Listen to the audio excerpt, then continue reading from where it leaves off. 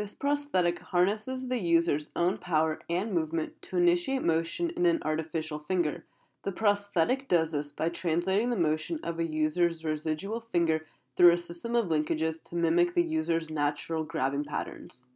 In this video, we will explore how the principles of dynamics can be applied to prosthetic fingers such as this. To break it down to fundamental dynamics principles that govern the motion of the prosthetic, we will draw a basic diagram of the components. The main force is applied to section A. Due to the relative motion of the rigid body, the remaining components follow the motion of the curved finger. Looking more closely at section A, we can see that point 2 rotates in a circle about the anchor, labeled point 1. We know that due to the laws of relative motion, to determine the velocity of point 2, we can use the radius, which in our case is the length of link 1, 2, times the angular velocity, omega 1, 2, which is determined by the applied force. Now, to determine the velocity of point 3, we will utilize our understanding of the motion of link 1, 2 to determine the motion of link 2, 3. The governing equation behind how they relate to each other is the velocity of point 3 equals the velocity of point 2 plus the velocity of point 3 in relation to point 2. In order to determine the motion of the fingertip, we would continue this process down the linkages.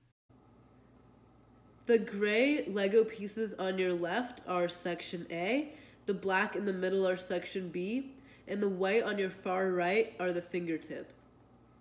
As you can see, as a single force is applied on the first linkage, the rest of the finger rotates.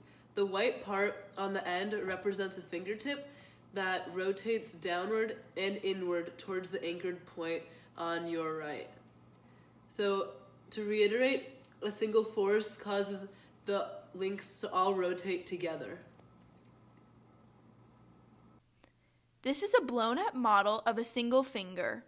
In order to model the entire hand, four of these models would be utilized. The prosthetic would be beneficial for a patient who has a significant portion of the residual finger remaining in dexterity, which would allow them to initiate the movement of the prosthetic hand. In this clip, I am restricting the motion of section A, and this prevents the tip from being able to move in any direction.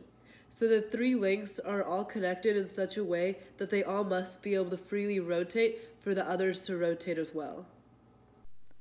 In conclusion, rigid body kinematics and dynamics are demonstrated by prosthetics, such as the finger mechanism highlighted in this video.